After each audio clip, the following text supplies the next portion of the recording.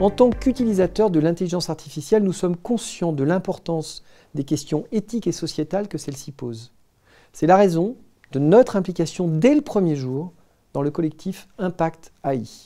Au printemps 2018, Carlo Puerasenta est venu me parler de ce projet de collectif, ambitionnant d'éclairer les enjeux éthiques et sociétaux de l'intelligence artificielle et de soutenir des projets innovants et positifs pour le monde de demain. J'ai souhaité engager le groupe Bouygues à ses côtés pour fédérer nos énergies, nos réflexions, nos expériences, dans le but de mieux comprendre les impacts de cette technologie.